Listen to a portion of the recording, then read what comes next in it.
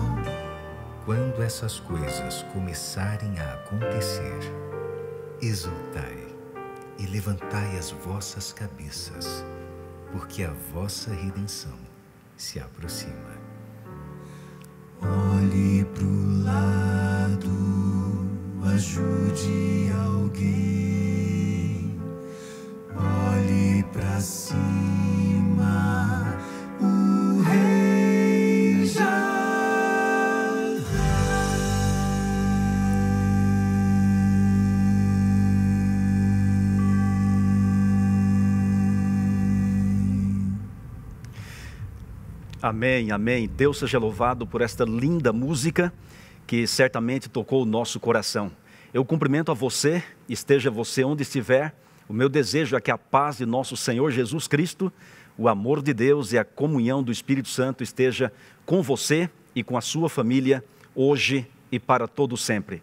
É muito bom ter a sua companhia, mesmo à distância, você nos assistindo, tenha certeza de que a Sua presença é a razão da nossa grande alegria. Fique atento, fique em oração, porque a mensagem de hoje, pela graça do Senhor, vai tocar o nosso coração. E antes de prosseguirmos, eu convido você, se tiver condições, feche os olhos e vamos falar com Deus antes de abrirmos a palavra do Senhor. Oremos. Senhor, nosso Deus e nosso maravilhoso Pai celestial, Criador dos céus e da terra, Rei dos reis e Senhor dos senhores, a Ti elevamos a nossa prece, em nome de Jesus, de louvor e adoração ao Teu nome. Adoramos o Senhor por quem Tu és, Tua grandeza, Tua majestade. O Senhor é soberano, o Senhor é justo, é santo, é perfeito, o Senhor é imutável, o Senhor é onipotente, onisciente e também onipresente. O Senhor é o mesmo ontem, hoje e eternamente. O Senhor não conhece derrota, nunca perdeu uma batalha e não conhece o fracasso e nem o impossível.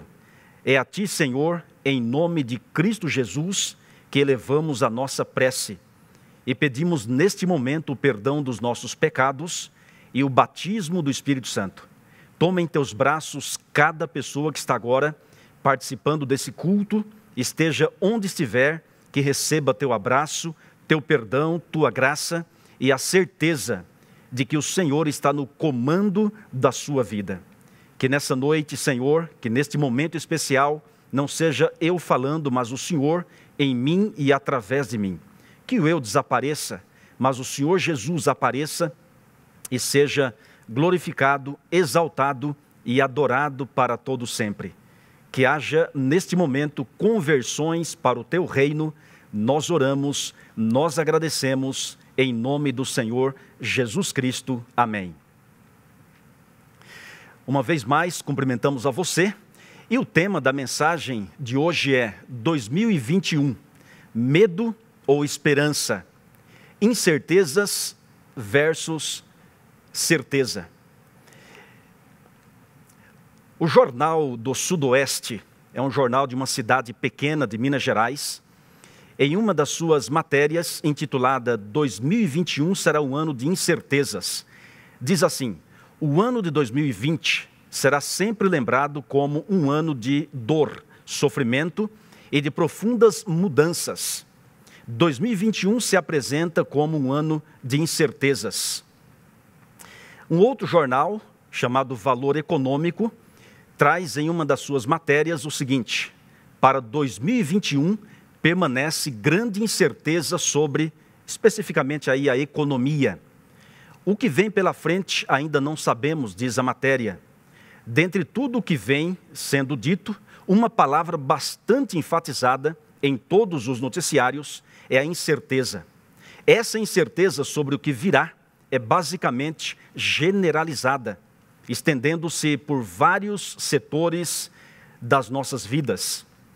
Ainda tem um outro jornal, na verdade, aí um, um site, Digitalks, e tem uma matéria muito interessante que fala sobre as incertezas é, do ano que já está em andamento.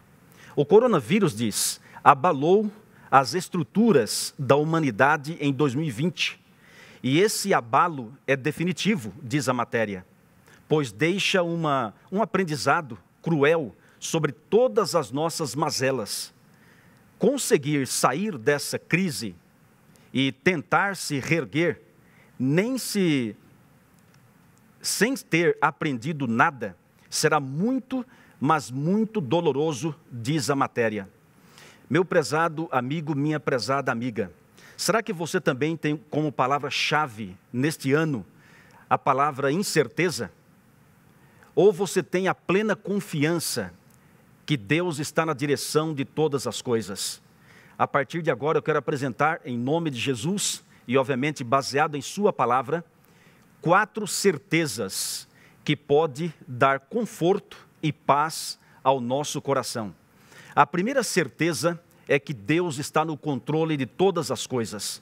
Se você tiver condições, abra sua Bíblia no livro de Apocalipse, capítulo 13, e o verso 8, e vamos à leitura.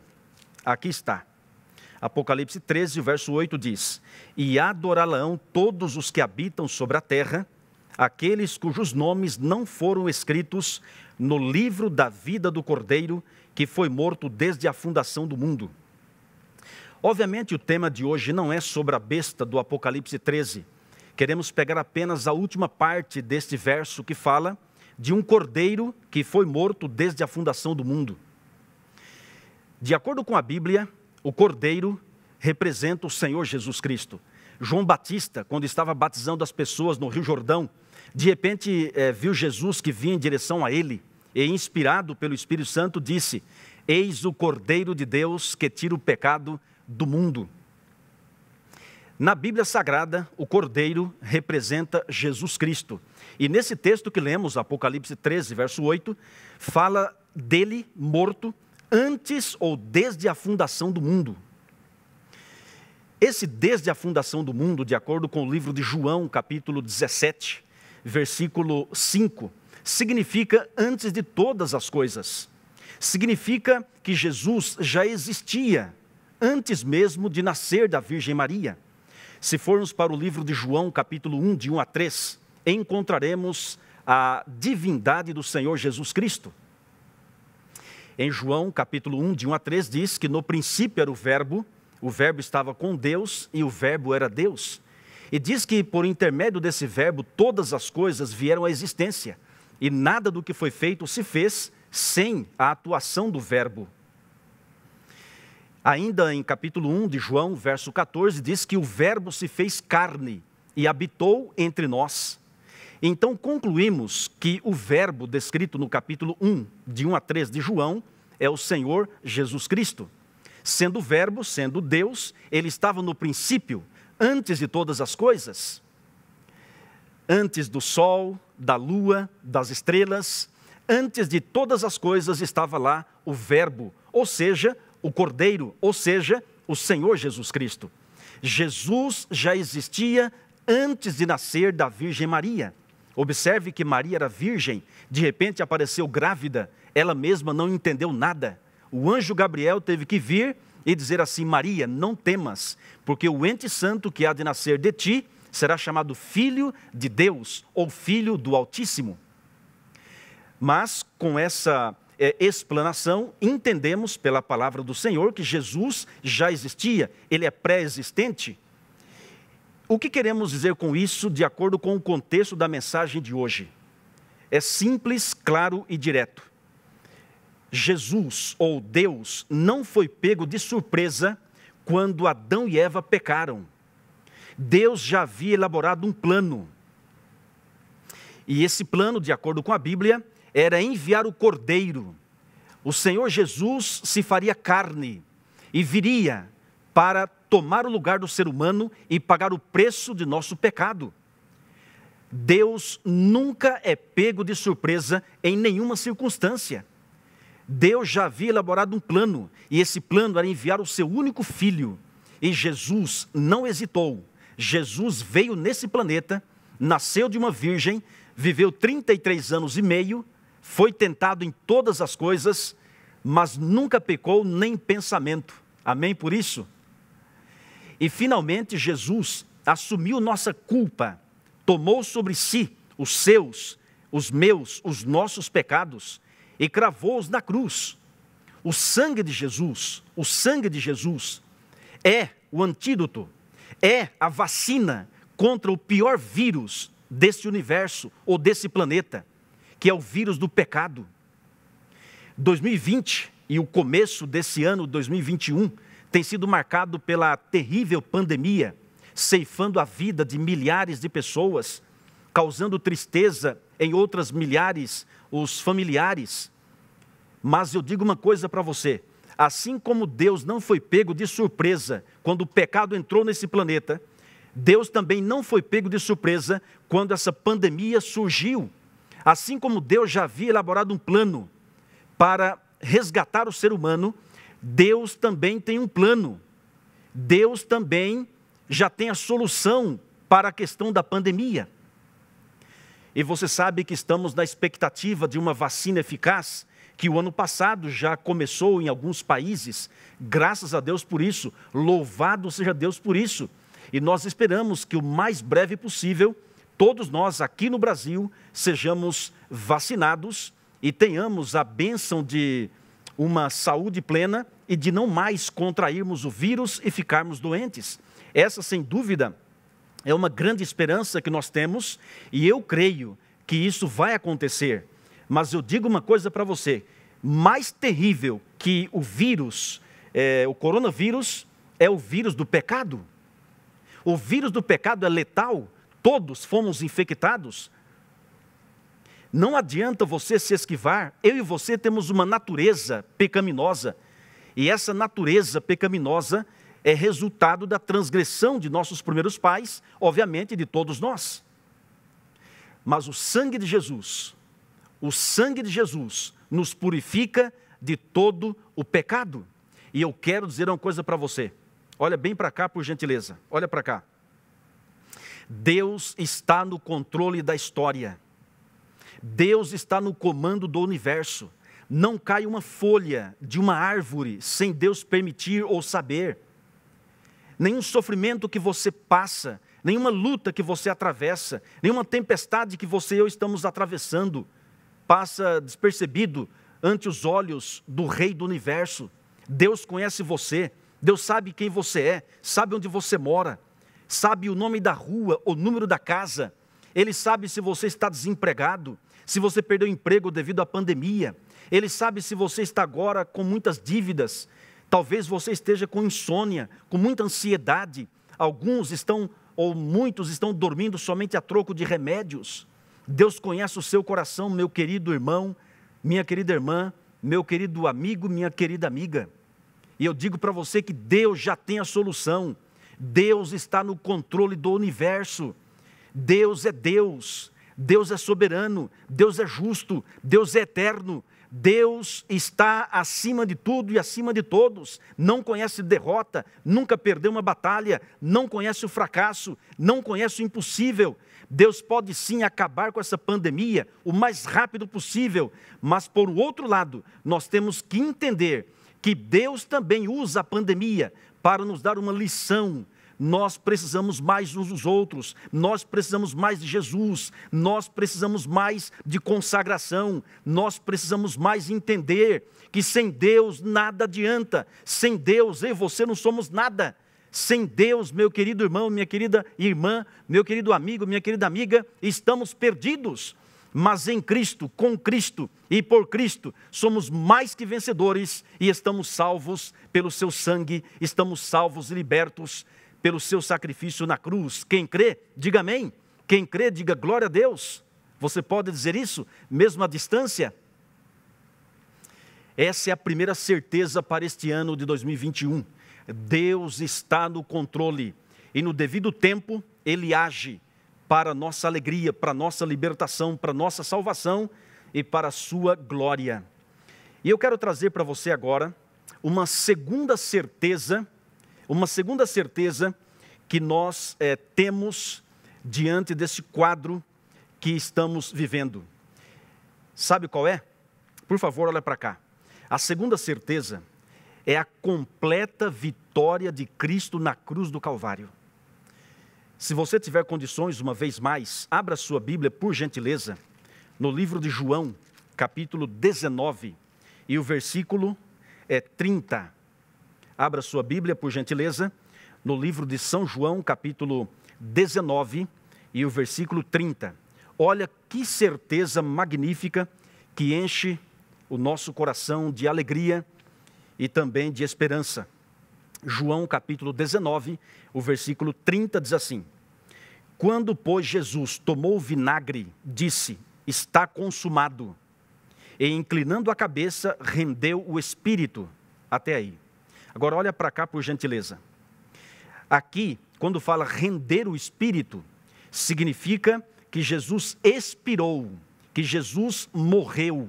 Mas antes da sua morte, lá na cruz do Calvário, entre o céu e a terra, o Senhor Jesus disse é, essas palavras que ecoaram é, por todo o universo de uma forma positiva e maravilhosa. Ele disse: Está consumado.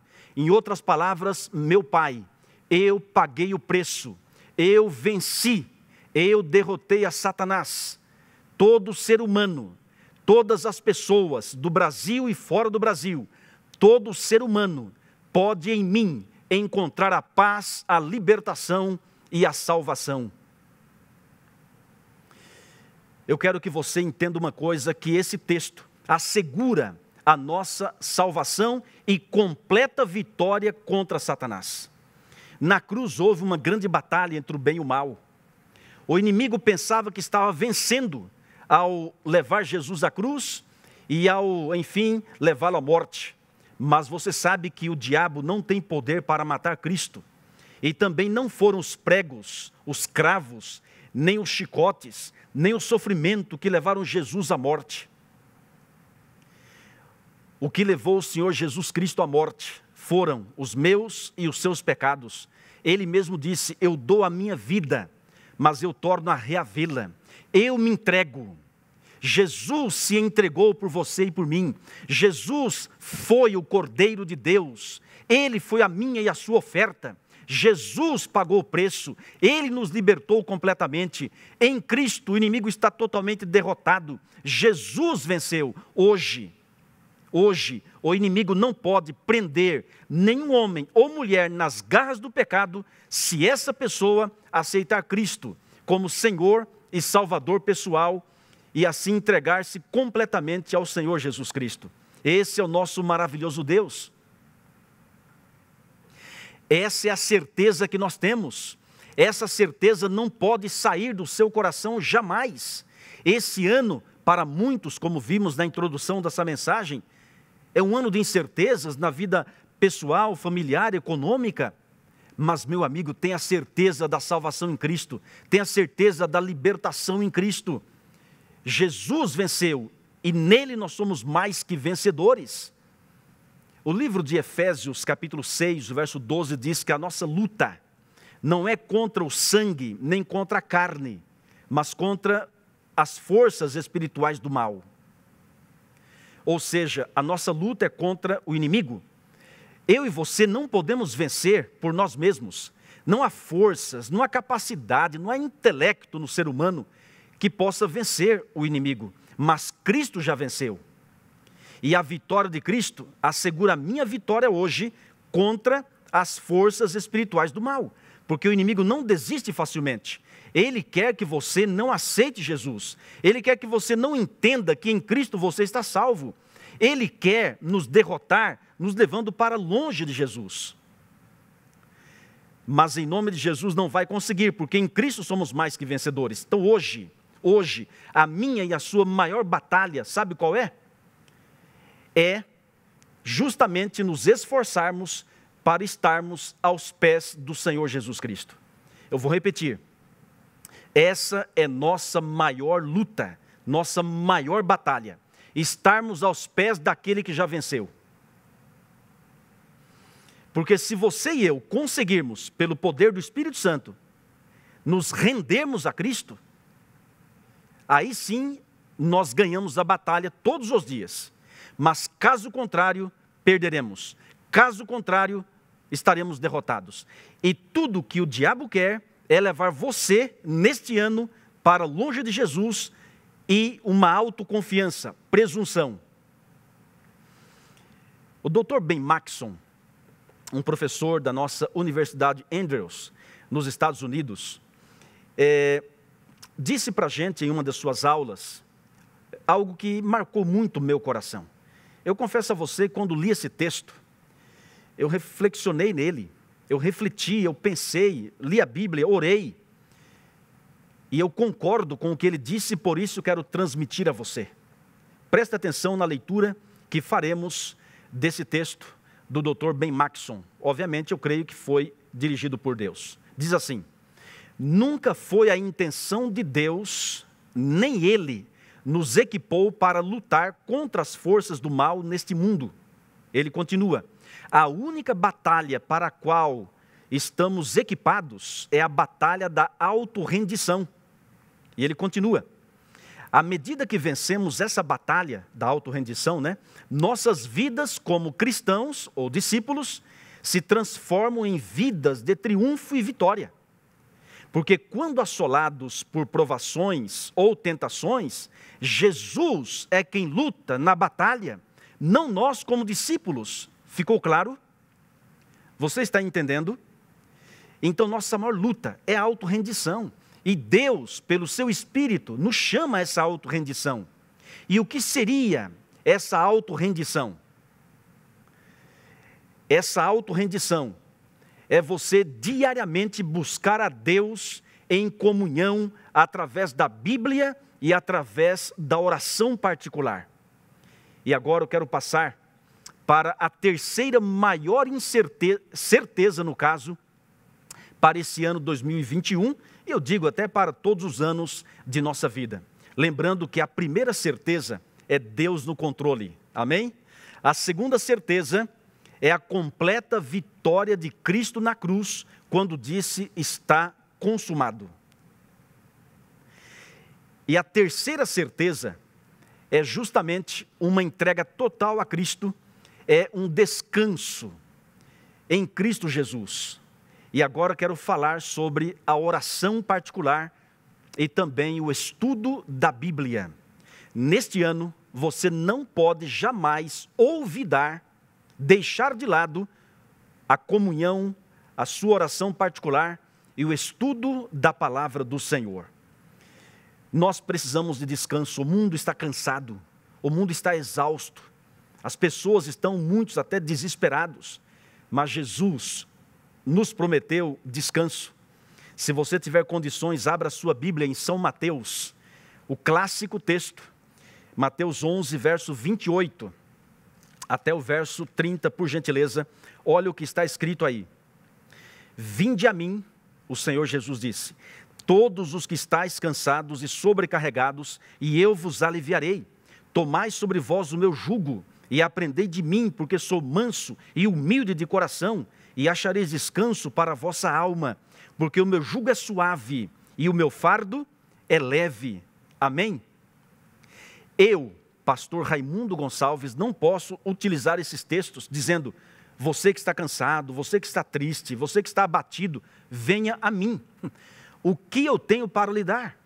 Qual é a força e o poder que eu tenho para aliviar os seus eh, sofrimentos, as suas lutas e lhe dar descanso na alma? Jamais. Eu não tenho esse poder, nenhum homem, nenhuma faculdade, nenhum curso nessa terra, mas Jesus sim aquele que venceu na cruz, aquele que derrotou o inimigo, Jesus sim pode dizer para você agora, meu querido irmão, minha querida irmã, ele fala, né, meu filho, minha filha, vinde a mim. E se você for a Jesus, você vai encontrar descanso para a vossa alma. Em meio à pandemia, em meio à confusão política, confusão religiosa, em meio à violência, em meio à corrupção, a roubos ousados, em meio a tantas revoltas, em meio a esse mundo carcomido pelo pecado, Jesus continua o mesmo, ontem, hoje, eternamente. Jesus diz: Meu filho, minha filha, vinde a mim. Por que, que você foge de mim? Por que, que você faz tantas coisas e não vem a mim? Por que, que você não separa tempo para comunhão comigo? Por que, que você não ora mais? Por que, que você não abre o seu coração? Por que, que você não confia suas lutas, suas dificuldades, seus problemas a mim? Meu filho, eu sou todo poderoso. Meu filho de Jesus, eu criei o sol, a lua, as estrelas, o mar, as fontes das águas. Meu filho, eu criei o universo. Eu criei as bilhões de estrelas. Eu chamo cada uma delas pelo nome. Eu não esqueci do seu nome. Minha filha, meu filho, vinde a mim. Eu sou a solução para a sua para as suas lutas, para os seus problemas. Meu querido irmão, minha querida irmã, a pior tragédia de alguém que se diz cristão, sabe o que é? É confiança em si mesmo, é a presunção. Queremos a vitória, mas não queremos os joelhos dobrados. Queremos a vitória, queremos uma vida vencedora, mas não estamos dispostos para um, um esforço de colocarmos Deus em primeiro plano. Ellen White, escritora adventista inspirada por Deus, ela diz: consagrai-vos a Deus pela manhã, Fazer disso vossa primeira tarefa. Não é a segunda, não é a terceira, não é a quarta. Antes de tudo, antes de todos, coloque Deus em primeiro lugar. Ore, estude a Bíblia. A oração é a respiração da alma. A oração é a chave nas mãos da fé, que abre os celeiros dos céus, onde acham, se acham armazenados os ricos tesouros da onipotência. A chave, é o segredo, a oração é a chave e é o segredo do sucesso. Eu e você não podemos viver sem o ar que respiramos. Assim não podemos viver sem a oração, sem a comunhão com Deus. E eu estou agora especificando a oração particular. Culto público, ouvir uma mensagem como essa, participar de um culto como esse, é bom, é maravilhoso e Deus te chamou para isso. Você não está aqui à toa. Deus chamou você para ouvir essa mensagem, mas eu digo para você, neste momento, olha bem para cá, olha bem para cá, esse culto público não substitui a sua comunhão, a sua oração particular. Ali está a força, é ali que a gente chora, é ali que a gente clama, é ali que você se desnuda. Na verdade, Deus não olha a nossa roupa, Embora a roupa é importante, mas Deus olha lá dentro, Deus olha o seu coração, Deus olha o que está lá no íntimo, as suas lágrimas, os seus sonhos talvez frustrados. Deus, ali, no momento da intimidade com Ele, Ele te abraça, Ele vai te dar um novo coração, Ele vai te perdoar, Ele vai te levar a entender que sem Ele você não é nada, mas nele você é mais que vencedor, como disse Paulo, tudo posso naquele que me fortalece. Jesus vai te fortalecer quando você tiver coragem de colocá-lo em primeiro lugar, especialmente na comunhão íntima, na oração particular. Eu digo para você, esse é o nosso maior esforço, a autorrendição, como já foi mencionado, é o esforço da oração particular. Deus quer manter íntima comunhão conosco, amém? A Bíblia fala de muitas pessoas que andaram com Jesus. Vamos destacar aqui o apóstolo São João, filho do trovão, pavio curto, nervoso, rude, mas de tanto andar com Jesus, de tanto estar aos pés de Jesus, ouvir Jesus, ou seja, em santa intimidade, em santa comunhão, ele foi transformado em João, o discípulo do amor. Deus quer tê-lo bem junto a ele. Deus quer fazer de você um vencedor. Então tenha certeza que em Cristo, em comunhão com Ele, você vai ter paz e descanso em meio a esse mundo conturbado. Eu digo que a oração é a chave. Alguns textos que vamos passar agora são de extrema importância para a nossa reflexão. Eu peço que você continue ligado, continue prestando atenção naquilo que Deus está falando conosco. Ellen White diz a necessidade da renúncia. Ela diz que o maior perigo do homem está em si, ou em enganar-se a si mesmo, em condescender com presunção, separando-se assim de Deus, a fonte de sua força. E ela continua dizendo que, a menos que sejam corrigidas pelo Espírito Santo de Deus, nossas tendências naturais Aí diz que encerrarão em si mesmos os germes da morte. Meu Deus, olha o que diz. A menos que nos ponhamos em uma ligação vital com Deus, não podemos resistir aos profanos efeitos da satisfação própria, do amor de nós mesmos e da tentação de pecar. Você está entendendo? A necessidade de íntima comunhão com Deus, dessa renúncia diária. Olha esse outro texto, ainda da serva do Senhor. Não é apenas no início da vida cristã que se deve fazer essa renúncia. A cada passo de avanço em direção ao céu, ela deve ser renovada. Todas as nossas boas obras são dependentes de um poder fora de nós. Deve haver, portanto, é, um constante anelo de coração para Deus uma contínua e fervorosa confissão de pecado e humilhação de alma perante Ele. Amém? Você crê nisso? E para você confessar, para você se humilhar, é a oração. Ali você encontra descanso, ali você encontra paz. Presta atenção nesse texto de Ben Patterson, no livro Aprofundando o Diálogo com Deus. É fenomenal o que ele diz, e eu creio usado, dirigido por Deus. Ele diz que a falta de oração é o pior dos pecados. Nada mais é do que a raiz de todos os pecados. E ele continua citando aí o apóstolo São Paulo. Eu achei impressionante esse texto. Olha o que diz. Onde quer que Paulo estivesse, havia tumulto. Onde quer que eu esteja, servem chá. Eu achei interessante essa citação e eu fiquei pensando, mas por quê?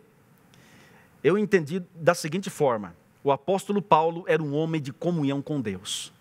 Paulo tinha intimidade com Deus, tinha foco, tinha propósito de glorificar a Deus e ganhar almas para o seu reino. E assim ele incomodava o inferno.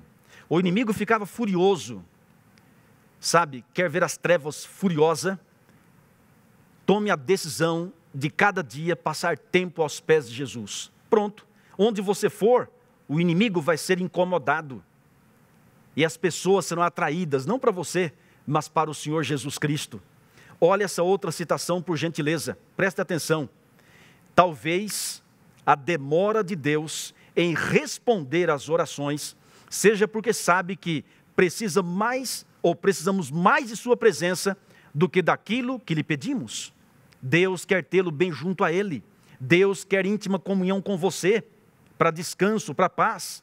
Ainda Patterson diz o seguinte: a oração torna-se superior àquilo que pedimos. Amém por isso? Olha o que diz aí essa outra citação, agora de James Camp. Satanás ri dos nossos esforços, ridiculariza nossa sabedoria, mas treme quando oramos. Você está entendendo? Veja essa outra citação. Dobre os joelhos, ou seus joelhos, e ore. Depois, levante-se e trabalhe. Em outras palavras, antes do ide, ficai. O mundo precisa de esperança. E você, ao cair aos pés de Jesus, vai receber essa esperança, vai receber essa paz e vai ser um agente da paz. Vai ser a luz do mundo, vai levar essa esperança. Então, dobre os joelhos, ore e depois trabalhe. C.S. Lewis diz assim: há um céu aberto dentro de um quarto fechado quando começo a orar. Amém? Que coisa magnífica, que coisa maravilhosa. Agora, negligenciar a comunhão com Deus é perigoso. O porquê que há muitas brigas, o porquê que há muitos casais se separando, o porquê que há muitos vivendo uma vida absoluta como se Deus não existisse, porquê que há muitas apostasias.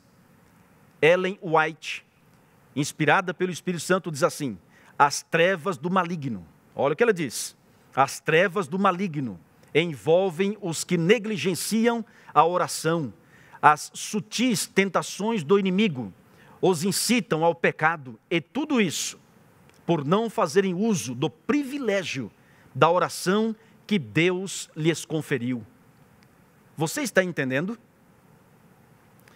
Você está entendendo essa mensagem? A certeza do descanso, da paz e da vitória só vem quando vamos a Cristo nessa auto-rendição em íntima comunhão com Ele. Sem Jesus nada podemos fazer. A oração é a resposta. Veja agora essa outra citação, por gentileza. A única preocupação do diabo é impedir os cristãos de alcançarem o território da oração.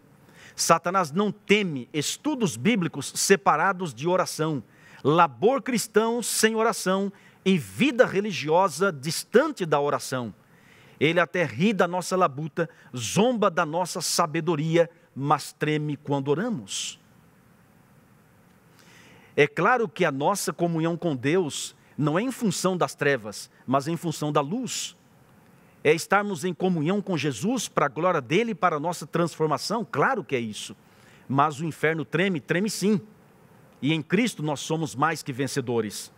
Ainda diz: nenhum homem nenhum homem, ou mulher, claro, né, é maior do que a sua vida de oração. Aí vai mexer com a gente, observe. O pastor que não está orando está brincando.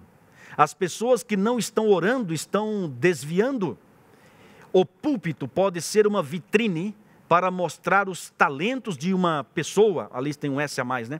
Já o quarto de oração diz: não permite nenhum exibicionismo. Você está entendendo? Eu e você aos pés de Jesus não tem exibicionismo, não tem ali aplausos nem luzes, não é um palco, uma passarela, ali a sala do trono do universo. E eu quero agora passar mais uma citação que, a meu ver, é impressionante. Ainda quero fazer um quadro desta linda mensagem que diz assim: olha, a oração é a resposta para cada problema da vida. Ela nos põe em sintonia com a sabedoria divina, a qual sabe como ajustar cada coisa perfeitamente. Às vezes deixamos de orar em certas circunstâncias, porque a nosso ver a situação é sem esperança, mas nada, nada é impossível com Deus. Nada é tão emaranhado que não possa ser remediado. Nenhuma relação humana é tão tensa que Deus não possa trazê-la à reconciliação e à compreensão. Nenhum hábito, nenhum hábito é tão profundamente enraizado que não possa ser é, vencido. Ninguém é tão fraco que ele não possa tornar forte. Amém? E continua: ninguém é tão doente que ele não possa curar. Nenhuma mente é tão obscura que não possa tornar brilhante. Se alguma coisa nos causa preocupação ou ansiedade, paremos de propagá-la e confiemos em Deus por restauração, amor e poder. Amém? Ó oh, Senhor Jesus, muito obrigado. O Senhor está sempre disposto a ouvir as nossas petições, as nossas orações. E agora quero passar a você a quarta certeza.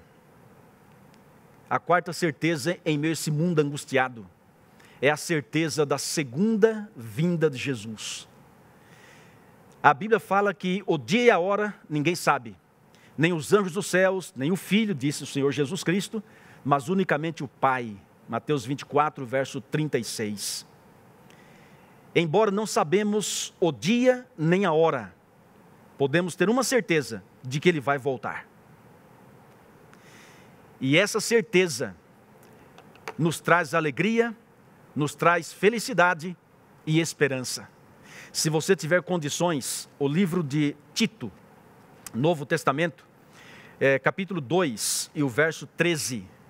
Tito, capítulo 2 e o versículo 13, traz uma, uma mensagem linda. Olha o que diz. Tito capítulo 2, aqui está, e o verso 13. Tito 2, verso 13 fala assim: olha o que diz. Aguardando a bendita esperança e a manifestação da glória do nosso grande Deus e Salvador, Cristo Jesus. O verso 14 ainda. O qual a si mesmo se deu por nós, a fim de remir-nos de toda iniquidade e purificar para si mesmo um povo exclusivamente seu, zeloso de boas obras. Aguardando a bendita esperança. A volta de Jesus é a nossa bendita esperança. A certeza que temos da segunda vinda é a certeza que temos que ele já veio. Se alguém duvidar da segunda vinda de Jesus, pode também duvidar da primeira. É fato que Jesus nasceu de uma virgem viveu 33 anos e meio nessa terra, foi tentado em todas as coisas, a nossa semelhança, mas nunca pecou. Foi cravado na cruz, tomou sobre si os nossos pecados, morreu brutalmente, foi sepultado, mas ao terceiro dia ressuscitou. Aleluia, Senhor, glória ao teu nome. Jesus está vivo, subiu aos céus, está intercedendo por mim e por você, e em breve voltará para nos buscar. João 14, de 1 a 3 não se turbe o vosso coração, credes em Deus, crede também em mim. Na casa de meu pai há muitas moradas, se assim não fosse, eu vou-lhe teria dito, pois vou preparar-vos lugar, e quando eu for e preparar lugar, voltarei, e vos receberei para mim mesmo, para que onde eu estou, estejais vós também. Amém? Essa é a nossa grande esperança. Jesus prometeu voltar a essa terra e assim como todas as profecias, messiânicas com respeito à primeira vinda de Jesus se cumpriram. Todas as profecias com respeito à segunda vinda do Senhor Jesus também estão se cumprindo diante dos nossos olhos. Você crê? A pandemia não é o fim. A pandemia é um dos sinais do fim. O livro de Lucas 21, verso 28 diz: Ora, ao começarem estas coisas a suceder, a acontecer, exultai, erguei a vossa cabeça, porque a vossa redenção se aproxima. O meu lar, o seu lar não é aqui. O nosso lar não é nesse mundo de trevas. O nosso lar não é neste mundo de Covid-19. O nosso lar é o reino celestial. Jesus veio nos comprar com o seu sangue. Jesus veio pagar o preço. Ele já garantiu a nossa salvação. Está agora esperando você o aceitar. Você se entregar a Ele e se preparar para esse grande acontecimento, quando Jesus vai aparecer nas nuvens dos céus, sim, com seus milhões de anjos, todos tocando trombeta. Ali o Senhor Jesus virá e vai buscar aqueles a quem ele redimiu e comprou com seu sangue e o aceitou como Senhor e Salvador pessoal. Sim, ele vem buscar você, ele vem buscar a mim, a todos nós. Estará você preparado para esse dia? Estará você pronto para a volta de Jesus? Essa é uma certeza que temos. A certeza que ele vai voltar em breve. Quando ele voltar a essa terra, ele quer encontrar você preparado. Mas você precisa tomar uma decisão. Você precisa se entregar nos braços de Deus. Eu quero finalizar essa mensagem contando a você um testemunho por gentileza, olhe para cá, não se distraia, chame a atenção das pessoas que estão ao seu redor para olhar para cá e prestar atenção naquilo que vamos contar. Você pertence a Cristo, tanto pela criação quanto pela redenção. Você pertence a Cristo porque foi comprado por Ele, pelo seu sangue. Você não pertence ao inimigo. Uma vez trabalhando em uma região de São Paulo, pastor Luiz estava pregando, eu era obreiro bíblico da sua equipe e eu ministrava curso bíblico para um casal de namorados. Eles viviam de uma forma que Deus não aprova. Eles viviam como marido e mulher, o que a Bíblia não ensina. Mas tomaram a decisão de se batizarem. Eles queriam ter o nome no livro da vida. Eles queriam ter paz no coração. Eles queriam uma nova vida a palavra do Senhor quando foi explicada para eles, a Bíblia Sagrada quando foi transmitida nos estudos bíblicos. O Espírito Santo entrou no coração deles. Eles resolveram abandonar a velha vida e decidiram-se ao batismo. Jesus disse: Quem crer e for batizado será salvo, quem, porém, não crer será condenado. Marcos capítulo 16, versículo 16. O livro de Hebreus 3, versos 7 e 8 diz assim: Hoje, se ouvirdes a sua voz, não endureçais o vosso coração. É hoje, é agora o momento da sua entrega. Talvez eu esteja pregando para alguém que ainda não é batizado, mesmo na pandemia. Você não teve condições de entrar numa igreja, de ser batizado, mas agora é o momento, Deus está chamando você. E esse casal tomou a decisão, ambos aceitaram Jesus. Um dia, pastor Luiz estava pregando, a igreja estava lotada, e esse casal assistindo, e de repente essa garota, essa garota passou a ter alguns problemas espirituais. Ela começou a se entortar todinha, começou a cair ali no banco mesmo. O namorado estava com ela, a abraçou e não sabia o que fazer. Nunca tinha se deparado com uma coisa tão estranha, tão complicada. E de repente isso chamou a atenção dos demais. De repente aquela aquela garota pegou uma caneta uma caneta, mais ou menos assim, fazendo assim com a mão, pegou um papel e começou a escrever. E depois os obreiros bíblicos pegaram e atiraram, levando-a para um quartinho lá no fundo da igreja, daquele local. E lá oramos, e pela graça de Jesus ela foi liberta, ela foi salva, e pelo sangue de Jesus foi vencedora. Terminou a reunião, acabou a, a programação daquele, daquele dia, E ela já estava liberta e me entregaram o bilhete. Sabe o que estava escrito naquele bilhete, naquele papel? Estava escrito o seguinte: ela é minha, ela não vai se batizar, e assinado Legião. Eu confesso a você que eu me arrepiei todo, fiquei tremendo e com muito medo, mas ao mesmo tempo, olhamos para o Calvário, olhamos para o sangue de Jesus e pudemos ver mais uma vez que Jesus é vencedor, pois ela estava liberta. E Deus fez o milagre. Ela foi batizada para a honra e a glória do Senhor. Ela e o namorado. Ah, meu querido irmão, minha querida irmã, entenda uma coisa. Jesus te libertou na cruz. Você pertence a Ele. Você precisa de uma auto-rendição, de comunhão com Ele e precisa se preparar para a sua segunda vinda. Jesus vai voltar, abandone a velha vida, se arrependa, entregue-se completamente a Cristo. Ele está chamando você. Eu não estou pregando aqui à toa. Eu orei a Deus, falei: Senhor, usa-me, porque eu não sou nada sem o Senhor. Ó oh, Deus eterno, faça milagres, converta pessoas. E eu quero nesse momento orar com você. Eu quero pedir que você aceite essa oração, que você participe nesse momento de comunhão e aproveite entregue seu coração a Cristo. Você que está agora nos assistindo, Jesus está falando com você, Jesus está chamando você, não deixe para depois. Você não pertence ao maligno, você pertence ao Salvador, ao Senhor Jesus Cristo. Você pode dizer amém?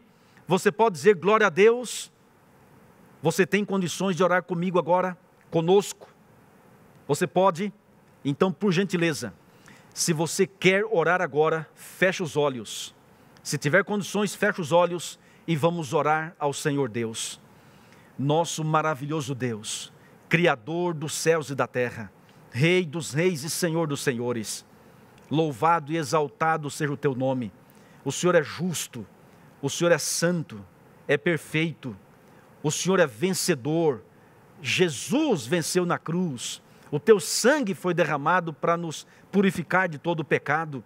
E em ti somos mais que vencedores, ó Deus eterno. Receba agora o nosso coração, venha tomá-lo em teus braços. Eu agora levanto minha mão, Senhor. Levanto minha mão para pedir que o Senhor levante a tua mão.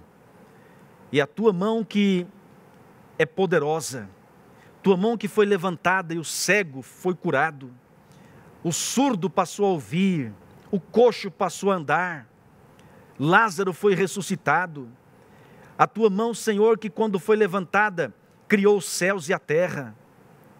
Levante, ó Deus, pedimos a tua mão sobre esse homem, essa mulher, essa criança, essa família, esse casal, Senhor, essa pessoa que sofre agora de câncer, essa pessoa que sofre agora, Senhor, talvez do Covid-19, talvez sofre agora de insônia Talvez ouve vozes, talvez o inimigo está atormentando essa família, talvez incertezas, medo e angústia. Ó oh, Deus, estenda a tua mão sobre essa pessoa, venha curá-la, venha libertá-la, venha transformá-la, venha fazer dessa pessoa mais que vencedora e que ela coloque em prática o que ouviu do Senhor nesta mensagem. Pai querido, por tua graça e misericórdia, eu entrego cada pessoa em tuas mãos, em nome de Jesus Cristo. Amém. Amém. Um forte abraço para você. Muito obrigado pela sua companhia. Que Deus te abençoe, que Deus te guarde e que Deus te dê a paz.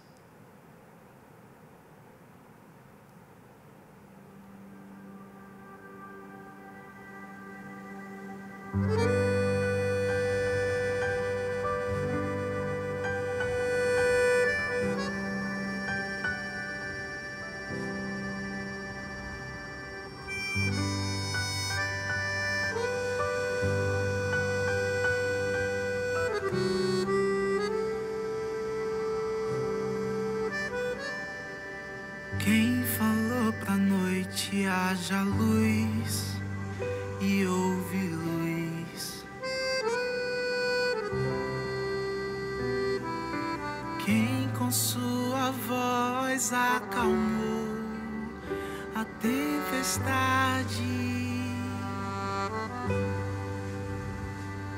Só Ele pode tudo por você.